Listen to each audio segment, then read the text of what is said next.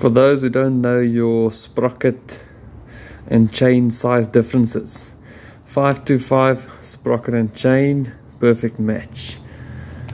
520 in a 525 chain, too wide, 520 in a 530.